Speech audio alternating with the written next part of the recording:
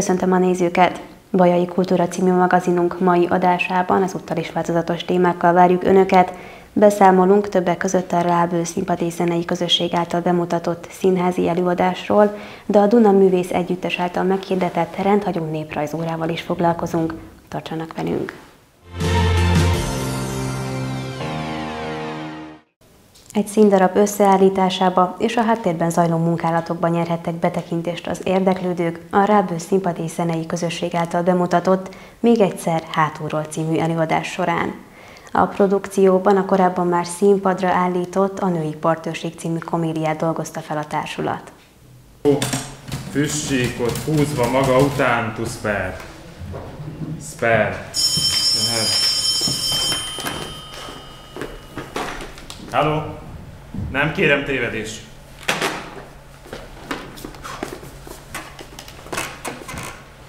A triplán bodorodó füssékot húzva maga után, sabl. Sabl. Halló? Nem kérem tévedés, ő már nem lakik itt.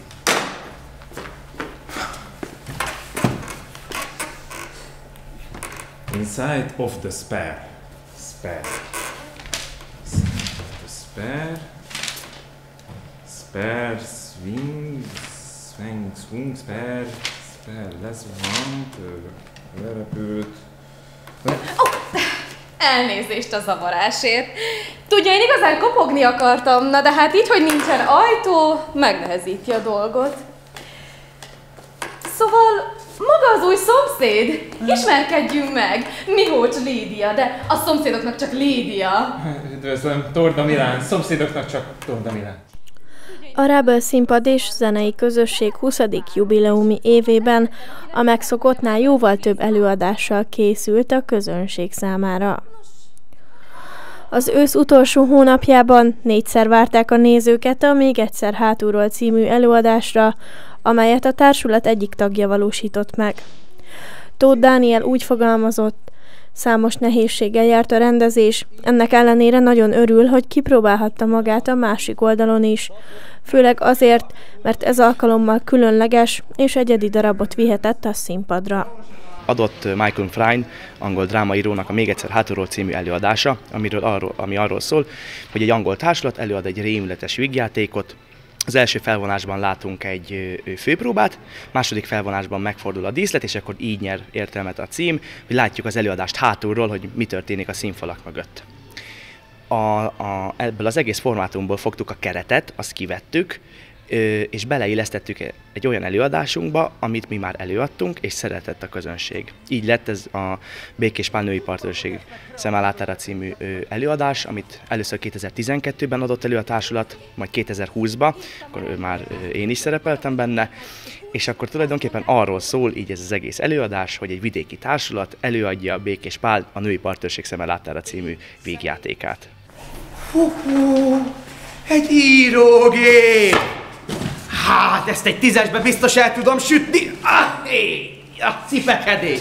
Azt sosem fizetik meg. Ah, a nyugdíjból meg, amúgy sem lehet kijönni.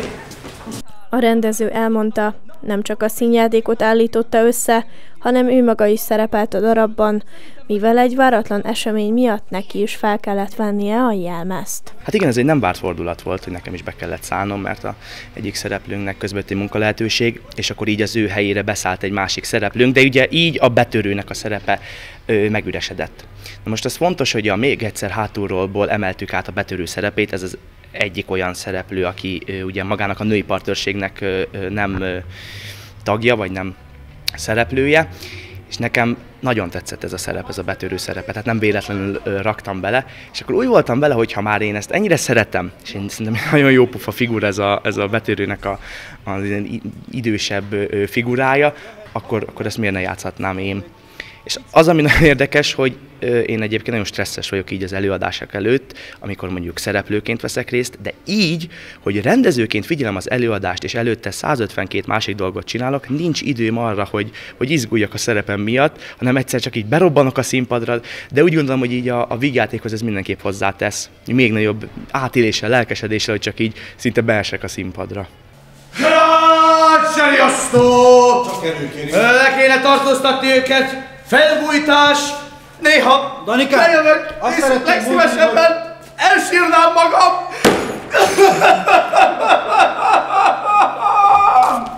De hát én bankokhoz vagyok szokva. Annak idején alanyrudok a páncélteremben, és most hová jutott? Drágám, hagyd abba. Hagyjam abba. Igen. Na, akkor honnan megyünk? Onnan, hogy jössz. Jó. És ha lehetne, Ha, akkor, igen. akkor egy picivel korábban. Éppen csak egy hajszálnyival, csak egy minimálisan közelebb a tegnapi naphoz. Oké. Deli Géza, a csapat stábunknak elmondta, örül annak, hogy ezúttal csak a szerepére koncentrálhatott. Aranyosak voltak a szereplők, mert ők is ezt nagyon sokat kérdezték, hiszen azért az elmúlt húsz évben, bár volt rá példa, hogy más rendezett, de mégis a legtöbbet ezt velem csinálták, és akkor nagyon kíváncsiak voltak, hogy na, ez most milyen, és marha jó. nagyon jó, nagyon élvezem. Egyrészt, mert szerep, szeretek játszani, tehát az egész uh, színjátszós díj gyakorlatilag onnan indult, uh, nem egészen, de mindegy, szóval nyilván arra épül, hogy élvezem ezt a dolgot, és nem csak a rendezés oldalát, bár azt is, hanem, hanem szeretek szerepelni. És az a vígjáték műfaja, az nem az én kedvenc műfajom, viszont pont azt fogalmaztam meg, hogy így, hogy más csinálja, és én szerepelek benne, és ez egy nagyon vidám dolog. Tehát, hogy, hogy talán vígjátékban sokkal szíves, ha, ha már vígjáték, akkor szívesebben szerepelek benne, mint hogy rendezzem. És nagyon élveztem ezt a karaktert, hogy ez egy hangos, bunkó, mm, kicsit ilyen egyszerű paraszt mm, figura, és Hát, hogy ezt megengedhetem magamnak, szóval ez egy jó érzés, hogy szerintem ezért jó talán szerepelni, hogy az ember olyan dolgokat is megengedhet magának, kipróbálhat, amiket hát az életben úgy általában nem. Úgyhogy én minden alkalommal ezt így vállalom, megmerítkezem benne, és, és nagyon élvezem. Lutfi, de én tudom, hogy ebben most már így késő belemenni. Miért gondolod, drága Katám, hogy később elemen? Hiszen ó, van még néhány másodpercünk az előadásig. Köszönöm, Lutfi. De látod, én tudtam, hogy te megérted. Én Azért, meg. mert szerintem az a lényeg, meg az a fontos, hogy mi itt, akik itt vagyunk, te szeressük egymást, és tudjunk mindenről beszélgetni. Csak én egyszerűen nem értem, hogy minek viszi magával a Saci ezt az utazó táskát, amikor hajléktalan. Azért, mert abban vannak a dolgai! Azért! Érted?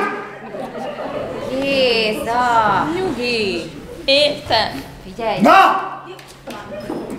A cselekmény fordulata később jött a nézők számára, ugyanis egy kis idő után kiderült, hogy nem csak egy rendezője van a történetnek. A mostani darabot illetően az elején a próba folyamatok elején rendkívül zavaró volt, hogy ketten vagyunk. Már hogy a Dani meg én. És hát ott bennem egy kicsit ott le kellett tisztázni, hogy most akkor a, a Dani a darab rendezője, én meg a darabnak a, a belső rendezője vagyok. De miután ez így úgy helyreállt bennem is, utána már azért könnyebb volt, hogy mit kell nekem csinálni ebben az egészben. Úgyhogy nekem tetszik ez a szerep. Kicsit különleges, mert azon gondolkodtam itt az első elő- előadásoknál, hogy arra kellett koncentrálnom, hogy én benne vagyok a darabban. Ugye én kint ülök a nézőtéren, úgy kezdődik az egész, és hát elkezdődik a, a női partőrség, és én olyan szépen úgy belefeledkezek, és így koncentrálnom kell, hogy nekem azért majd meg kell szólalnom. Tehát, hogy, hogy úgy, úgy elnéztem volna, de nyilván ez egy picit más. Tehát valahol szerencsés is, szerencsés is vagyok, mert látom őket kívülről. Tehát egy, egyfajta ilyen kettős szerep, mert nézőként is jelen vagyok, meg hát szereplőként is, tehát ez ilyen különleges szerep. Megvan már! Géza!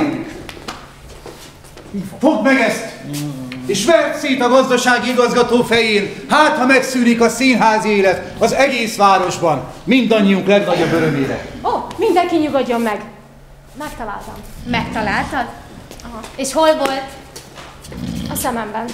Csak nem a bal szemedben, És komolyan benne volt a szemedbe, hallod? Benne volt a szemedbe. Nem láttam. Jól már tudtuk, hogy itt Ganim Tamás Lutfi elmondta, a szerepének az a legnagyobb előnye, hogy nem csak a színpadról, hanem a nézőtérről is láthatja a jeleneteket.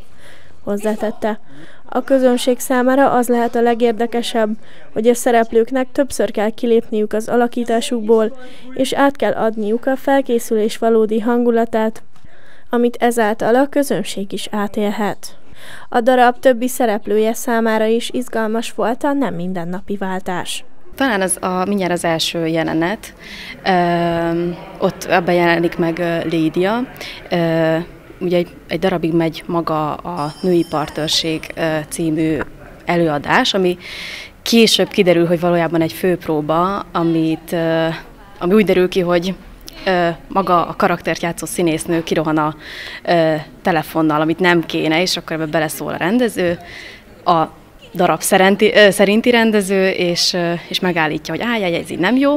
És ott van egy váltás Lídia karakterébe, mert a, a karaktert játszó színésznő, az pedig tök az ellentéte, egy kedvesen, bájosan homályos, kicsit butácska, nincs képben, nem tudja követni a kellékeket, és nagyon szeretem ezt a jelenetet, mert tényleg egy, egy egy pillanat alatt váltani kell, és, és egy egészen más, más jellemet kell megmutatni, és ezt, szeretem az elején, ezt az első jelenetet. A társulat idén utoljára a Músikus című zenei válogatásból álló előadásra várja az érdeklődőket november végén és december elején, ezt követően pedig egy hosszabb szünettel ünneplik meg 20. születésnapjukat. Még egy koncert előadásunk van. Most ugye ez az őszi évadunk tényleg elég sűrű lett, hiszen minden hónapban egy új bemutatónk volt és elérkezünk most már a végéhez. December 3-a, ami hivatalos 20 éves jubileumi dátumunk, úgyhogy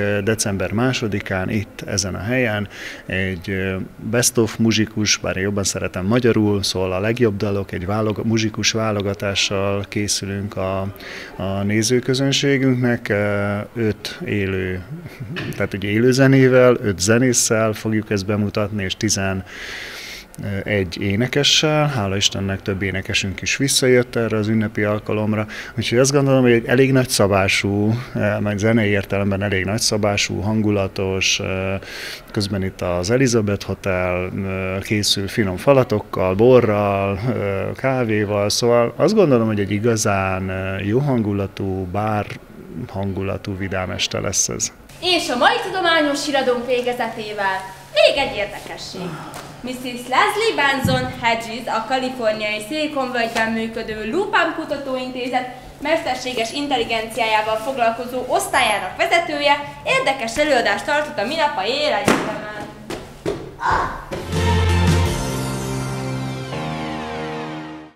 Hazánk és a Kárpát-medence táj egységeire jellemző táncokkal ismerkedhettek meg novemberben az iskolások. Ismét városunkban látogatott a Duna Művész Együttes, melynek tagjai egy interaktív és egy különleges rendhagyó néprajzóra keretében hívták fel a fiatalok figyelmét a népi kultúra, illetve a hagyományőrzés fontosságára.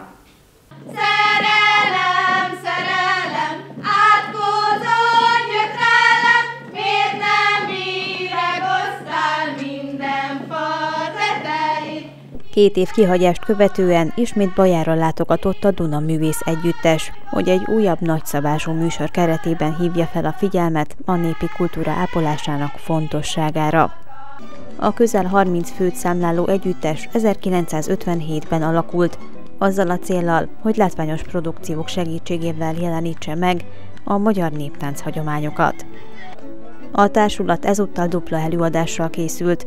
A délelőtt folyamán kifejezetten az általános iskolás korosztályt szólították meg az alkotók. A mai két előadás itt Baján mindenféleképpen Kárpát-medence táncainak, tánc típusainak, tájegységeinek, népzenéjének a bemutatása köré fonódik, de én azt gondolom, hogy ennél egy magasztosabb célunk is az, hogy ezt a népi kultúrát átadjuk, megszerettessük azzal, azokkal a közönséggel, azzal a közönséggel, akiknek nem teszi ki a mindennapjait úgy, mint nekünk, a táncosainknak, zenészeinknek és a, a, a mi életünknek. Hogyan épül fel egyébként egy-egy produkció? Például itt a mai napon mit, kiket és mit láthatnak majd a közönség soraiban ülők? Többféle előadás típusunk van. A ma délelőtti az egy rendhagyó néprajzi óra, ami kifejezetten általános iskolás korosztályú gyerekeknek szól, de én azt gondolom, hogy rajtuk kívül is minden korosztály élvezi. Ez az előadás egy külső narrátor segítségével jön létre, és ez a narrátor, aki ma a mai előadásban Berec István, ő, ő segít a, a táncoknak, tánctípusoknak, viseleteknek a feldolgozás vagy megértésében és jobb ö, rálátást biztosít. Az esti előadásunk az egy válogatás folklór műsor, ami Kárpát-medence számos tájegységének a néptáncát ö, mutatja be.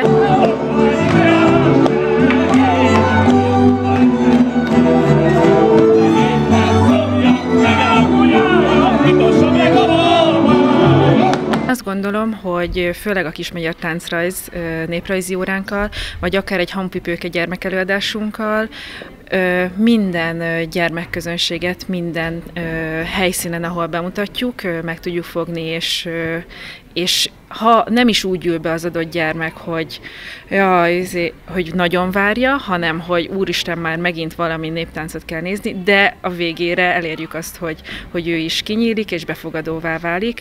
A felnőtt előadásaink pedig én azt gondolom, hogy tényleg nagyon, nagyon nagy sikereket aratnak.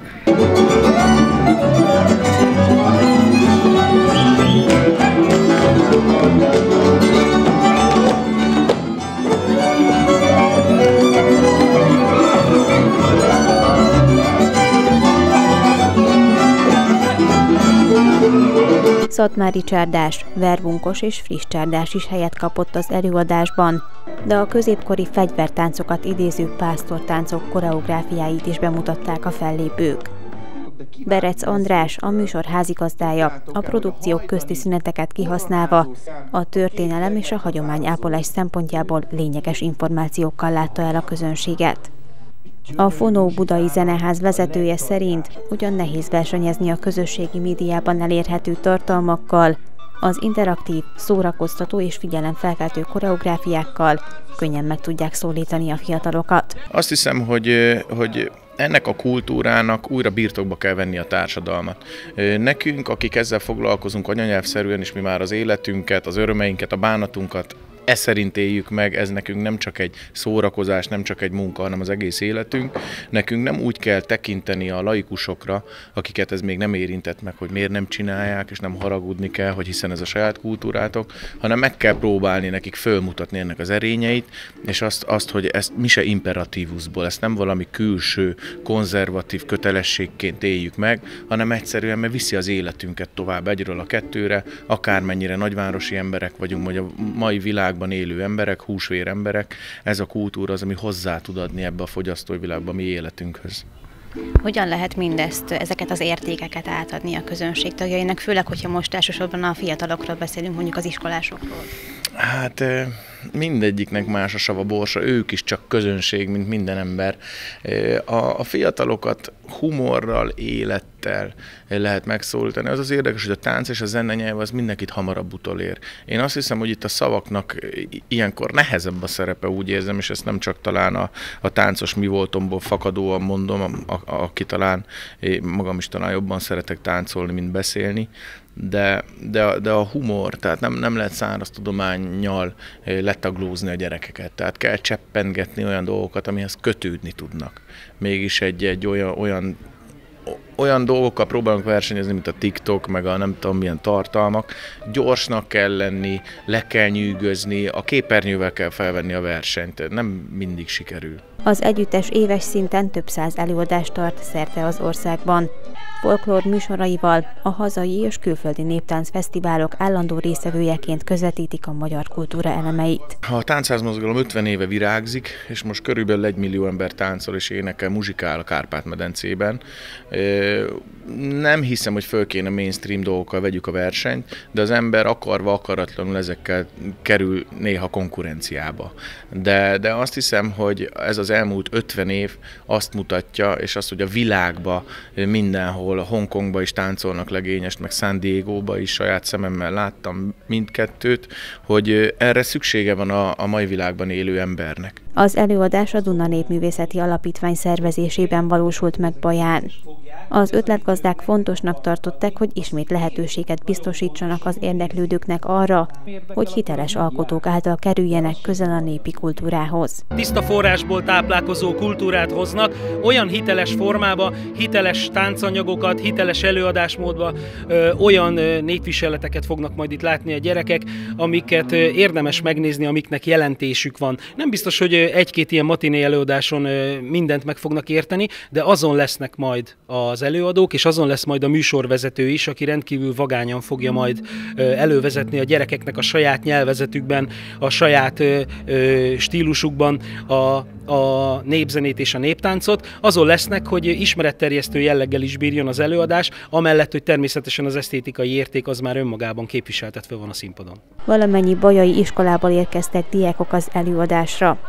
A nézőtéren ülők között többen maguk is közel állnak a néptánc és a népzene világához. Én ö, négy éve járok táncolni, vannak ö, az osztályból még, aki egy, kettő, három, négy valaki, és akkor azért ö, szeretjük ezt, hogy ö, már több ö, ilyen ö, fellépésen is voltunk, hogy ö, ö, táncolos fellépés.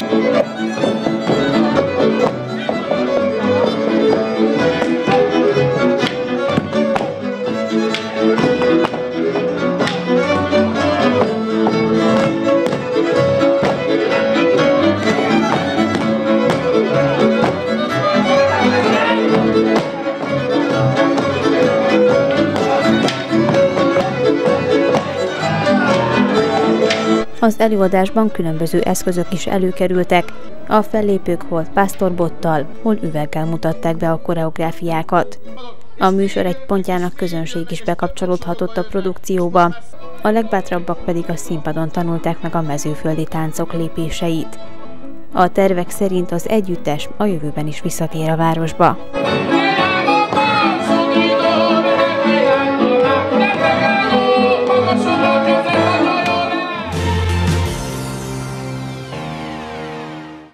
Azt is megmutatjuk, milyen kulturális programok közül válogathatnak a következő napokban.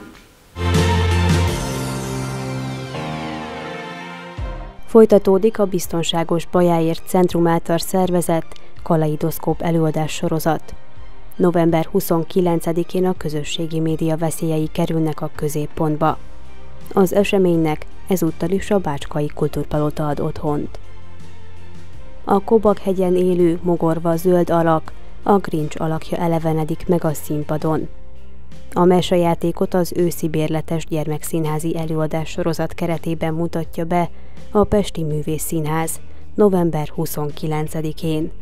Az előadást két alkalommal játsza a társulat, délelőtt fél tizenegytől, valamint délután két órától a Városi Színház teremben. Bába csábítja az önkormányzat a régóta fiatalokat. November 29-én Katalin napi bált rendeznek Baján, az esemény helyszíne ezúttal is a turisztikai központ. A belépés ingyenes, de regisztrációhoz kötött. Karakter és mentalitás. A Bárdos Ferenc helyismereti klub sorozata keretében ezúttal a Bajai Ciszterci Gimnázium történelmében nyerhetnek betekintést az érdeklődők, akiket Kotenc Kelemen múzeológus és néprajzkutató vár egy időutazásra november 30-án este 6 órától az Adi Endre városi könyvtárba. Ismét összeállnak a muzsikus lelkek. December 1-én és 2-án újra színpadra állítja élőzenés koncertjét a Ráből Színpad és Zenei Közösség. Az előadásban korai jazz, sanzonok, valamint színházi és filmslágerek is felcsendülnek. A produkcióban közreműködik Pető Attila, Kovács Lajos, Gilián Péter, Marsa Norbert és Szabó Dávid. Az énekesek között pedig olyan előadókat láthatnak a színpadon, mint Tudás Júlia, Magdali Anna, Ördög Simonetta vagy Kasza Péter és Pető Dávid. December másodikán megnyitja kapuit az adventi vásár. Egy nappal később december 3-án pedig az első gyertyát is meggyújtják a város koszorúján. A rendezvényen ezúttal Lados István baptista lelkész tolmácsolja gondolatait, az ünnepre hangolódásról pedig a baptista zenekar gondoskodik.